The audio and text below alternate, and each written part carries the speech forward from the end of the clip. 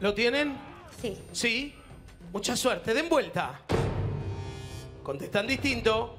Contestan distintos y hay una que está bien y la otra no. Ay, ay, ay. Alguien se pone adelante en esta pregunta. La respuesta correcta es la C, vikingos. Leandro, excelente.